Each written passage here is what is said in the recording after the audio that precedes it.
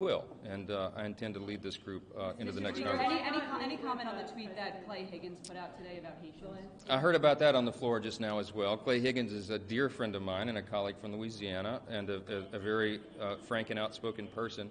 He's also a very principled man, and uh, I think he tweeted. I don't. I didn't even see it, but he tweeted something today about Haitians, and uh, he was he was uh, he was Told them to he, he was approached. by January 20th, or Okay. Well, look, he was approached on the floor by colleagues who said that was offensive. He went to the back. I just talked to him about it. He said he went to the back and he prayed about it and he regretted it and he pulled the post down. That's what you want a gentleman to do. I'm sure he probably regrets some of the language he used, but um, you know, we move forward. We believe in redemption around here. Are you Yeah. confident?